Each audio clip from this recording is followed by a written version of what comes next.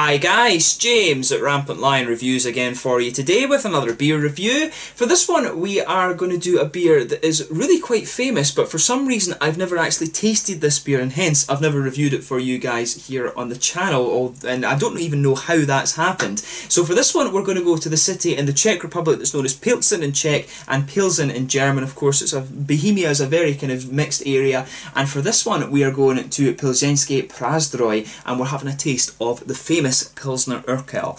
So this one is the original Pilsner beer, the first Pilsner beer that was ever produced. It was made back in 1842 and it comes in at 4.4% ABV. So I'm definitely looking forward to this one and I actually don't know how it's taken me so long to try this beer. I've seen it around so often and I guess that's maybe just the case. You see a beer that often you think, oh I'll review it later, but I'm definitely looking forward to reviewing this one now.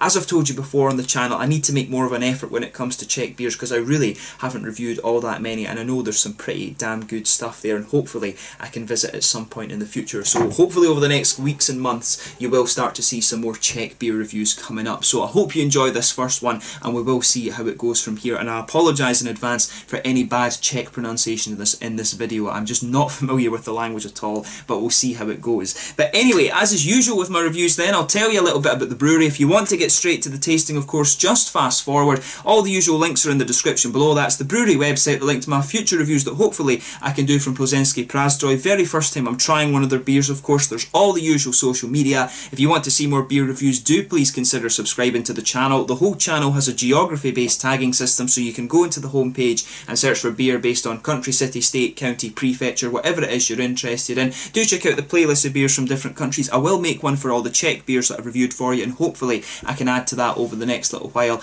And please do get in touch and let me know some of the other beers and breweries that you guys would like to see me review, especially if you're watching from the Czech Republic or Czechia, whatever you're actually calling it these days.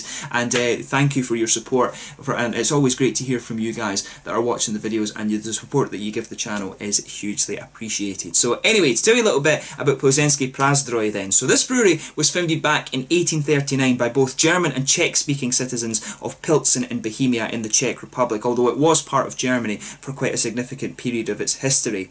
But the brewery, the original brewery was known as Bürgerbrauerei in Germany, or to or in Czech it was known as the Měšťanské Pivovar, but it translates to town brewery, of course, in English. But the Pilsner Urquell, as I mentioned to you, was the first ever Pilsner beer that was produced, and it was created by Bavarian brewer Josef Groll, who was hired by the townsfolk from Bavaria because the Bavarian beers at that time were known for their longer shelf lives and uh, just the kind of purity and quality, if you like. But the town had been very unhappy with the top fermented local beers. They said it was very poor quality and it had a really short shelf life. It would spoil after quite a while. And the Pilsner beer was created as a bottom fermented alternative. And bottom fermented beers were, of course, very popular in Bavaria. And with Bohemia having a similar climate, it was possible that they could save ice from the winter for the fermentation tanks and do the bottom fermented beers all year round. Bottom fermented beers, of course, do need lower temperatures when it comes to their fermentation stage. I believe it's usually around uh, kind of three or four degrees that they ferment a lot of these beers at. And uh, Groll actually brewed the first batch of this beer on the 5th of October 1842 and it was ready to drink on the 11th of November when it was first served at the Feast of the St Martin Markets. But in 1859 the name Pilsner beer was registered as a brand name at the local Chamber of Commerce and Trade and later in 1898 the names Urquell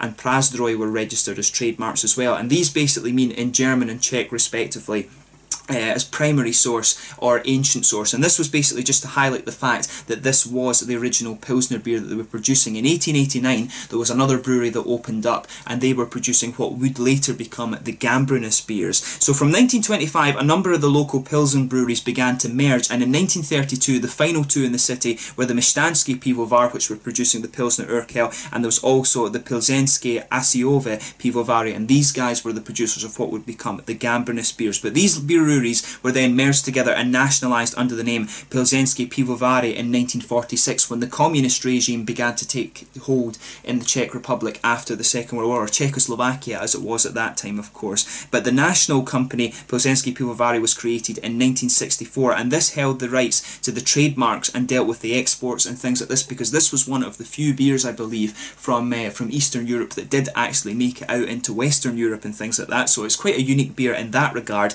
and they also uh, in 19 and with the fall of communism in 1989, the company underwent major structural changes and it became a joint stock company in 1992. And the name Pilzensky Prazdroj, which is what they're using today, was first used in 1994. In 1999, they became part of SAB Miller, South African uh, brewery, so they were kind of American and South African owned for a period. And since early 2017, they are owned by Asahi from Japan. And there has been a bit of protest about that in the city, I believe. There was a lot of the local kind of Czech citizens were very concerned that, uh, that uh, this brewery was going to be taken to Japan and they were going to start producing the beer over there and things like that, which would be a shame, of course. This is one of the things, and I'm a bit surprised actually that the Czech government didn't take this brewery into, they didn't nationalise the brewery as the Germans have done with quite a number of their significant breweries. It tends to be either the, the federal government owns the breweries or some of the state governments do. So it's a bit of a, a shame that the Czech government never actually took this beer into ownership. But as long as they keep producing the beer in Pilsen and uh, they don't light up on the quality and things like that, then hopefully it should be okay. But there's a lot of debate about that in the Czech Republic, and you know I'm a foreigner talking about this, so you don't want to say too much, of course. But as long as the beer's the beer's good and it remains brewed in the Czech Republic. Uh, or Czechia, or whatever they're calling it these days. They have recently changed the name of their country. As long as they are still doing that, then I think it should be pretty good. So yeah, I'll just let you have a look on the artwork, a little look at the artwork on this one before we open up. There you can see the very distinctive Pilsner Urquell name. This beer apparently is sold um, under, I think it's Pilzensky Prazdroj. I think they they um, they sell it as in the Czech Republic. So you need to remember that if you go over and order this beer. There you can see the nice kind of symbol on the top of this one, the Pilsen City Crest, I believe, 1842. It does tell you on the back here, in 1842 the Citizens Brewery of Pilsen brewed the world's first golden Pilsner and never stopped. We make it in the same way, in the same place, with 100% of our ingredients from the same farming regions in Czech as always. And it does use Czech Saaz hop, of course, which is uh, which is kind of a staple thing there. And I do like this little old symbol down here on the side. And there you can see the, the red crest there. There you can see the Pilzensky Prazdroj. So I hope my Czech pronunciations haven't been too bad in this video. And there, of course, is the the the how do you say this again? The Pilzensky Prazdroj bottle cap. It's a language I am just not familiar with at all. But with this one, it comes in at 4.4% ABV. And without further ado, then I guess let's get this guy out and we'll get on with the tasting then. As you can see, a bit of a nice smoky opening there, and we'll get it out into the glass. And I should point out as well, this is a new glass that I have. This is one that I actually bought at the Weihenstephan Brewery. So for this review, you're getting the world's first Pilsner in a glass from the oldest brewery in the world. So I thought that would be kind of quite cool. I don't actually have a Pilsner Urquell glass. That's maybe some... I've not actually seen one before, I don't think. You can get the beer quite readily, but I've not seen the glasses here in Scotland, or even in Sweden, actually, or in Denmark, wherever I've been. I've never actually seen one of the Pilsner Urquell glasses. But as you would expect with this beer, it's poured a lovely kind of pale golden straw. It's actually quite a rich kind of syrupy golden colour, this one.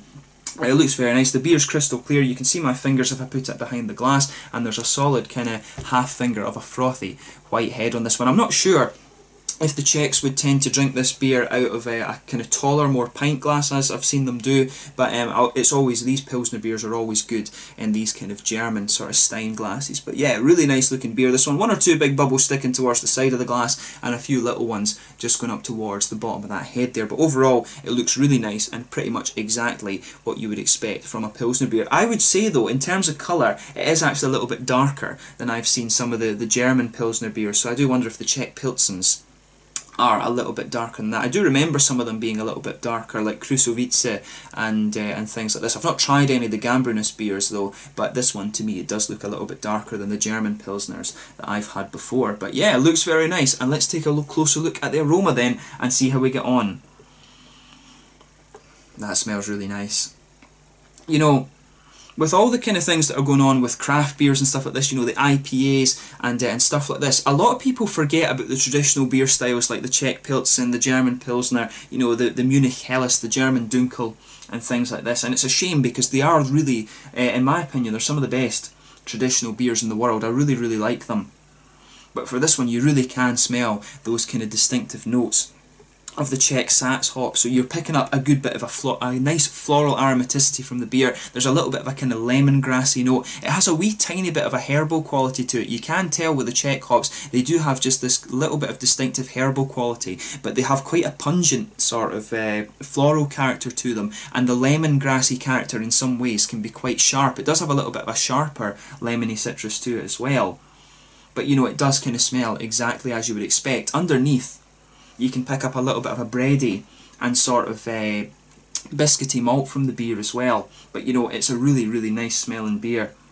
It's not the most pungent of aromas, I mean, compared to IPAs and things like that, it's not got the fruits and all of this kind of thing that it does. But if you like the Pilsner style of beer, then you certainly are going to enjoy the aroma of this one. And it has everything you'd expect, it just has that nice kind of tradition thing. This is one of the things with these beers, they are kind of they're the sort of beer that you go for because you enjoy that tradition. They're nice, easy drinkers but this one smells really quite good. It does have a little bit of a stronger aroma than some of the German Pils beers that I've come across before. But without further ado then, let's get stuck into this beer. As I always say, just take a little bit of time and enjoy the aroma before you try the beer. That's half the experience when it comes to craft beer, whiskey and sake and things like this. But let's try this beer now then. So this one is the Pilsner Urquell, the first Pilsner beer in the world produced back in 1842 from Pilzensky Prazdroj in Pilsen, Pilsen in the Czech Republic. Slàinte.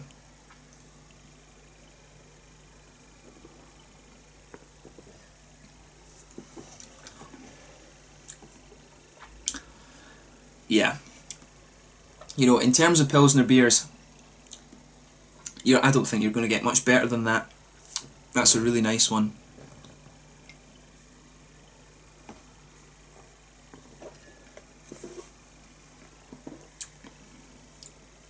Yeah. You know, this is one of the things I always comment on uh, on German beers and things like this and say one thing that's always amazed me about German brewing is that they can produce things on such a big scale with such quality. And you know this one you can tell again they're doing the exact same thing. Pilsner Urquell is produced this this beer is produced on a big scale but it's good quality and that's what you want.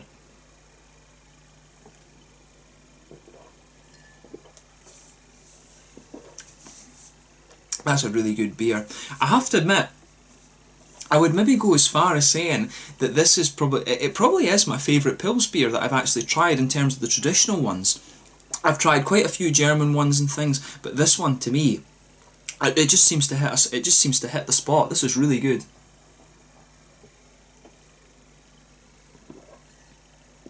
And I'm annoyed at myself for not reviewing this one sooner actually.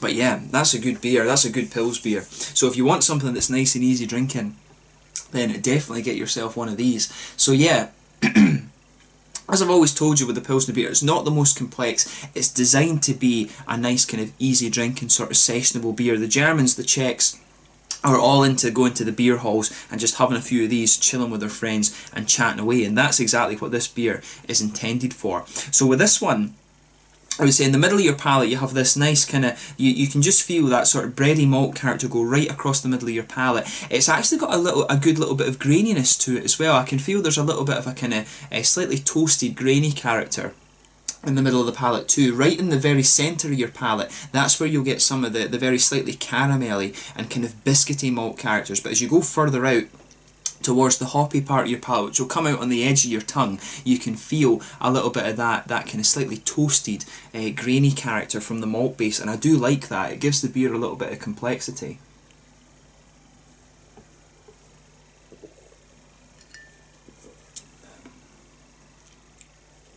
But yeah, that's really nice. I mean, you could you could easily just down a few of these beers. It's just so sessionable and so easy going. But it's, it's great to have a beer like this that is actually really quite cheap. In comparison, you can get a bottle of this for about a pound or one pound fifty. I think in Sweden you can get these for about twenty five crowns or something like that, which is really cheap for Swedish prices. It's just a very cheap beer that's very high quality, and that's what you want.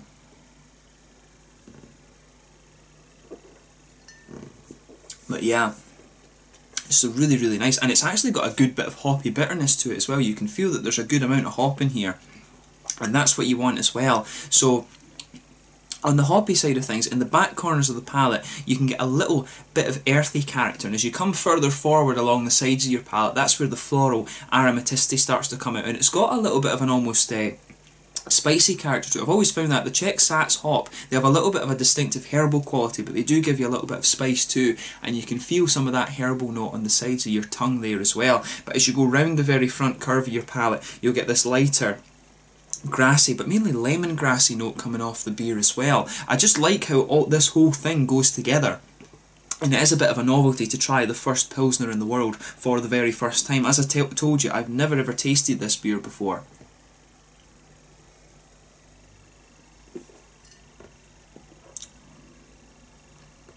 But that's really nice. As you progress further into the aftertaste, you can feel the grainy characters, the, the, the toasted grainy notes that I was talking about, they become just a little bit sweeter. And you can feel some of the caramel on the biscuit just pushing its way out. But then that floral aromaticity just sits there. The beer, this beer actually, in terms of the Pilsner beers that I've reviewed for you before, I think this one does have a little bit more bitterness to it than some of the other ones I've come across.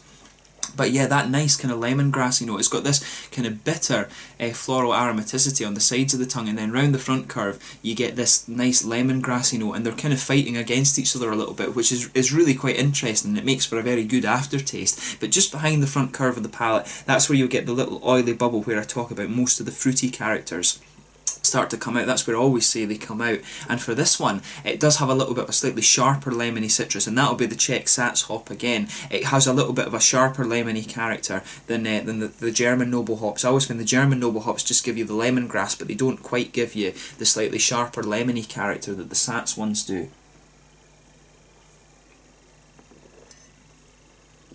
But yeah, that's really nice. I'm quite disappointed now that I only bought the one bottle you could easily drink quite a lot of this beer. So I need to go to Pilsen at some point and actually try uh, the beers on tap and things. I think they do have a few other beers uh, in their inventory and stuff, so it would be cool to try some of the other ones that they're producing.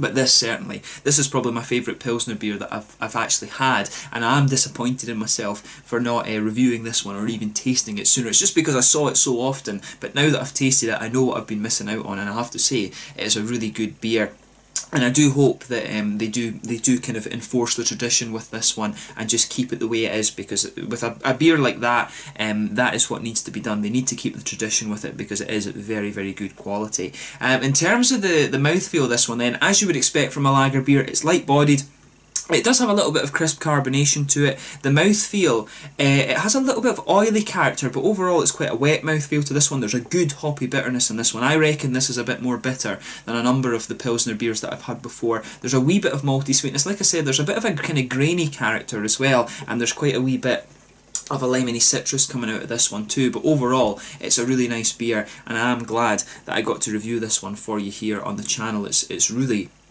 been very very good. And as I said this was the first time I was trying this beer. So this is a little bit of a special review actually to try the very first uh, of a beer style the, the very first Pilsner beer.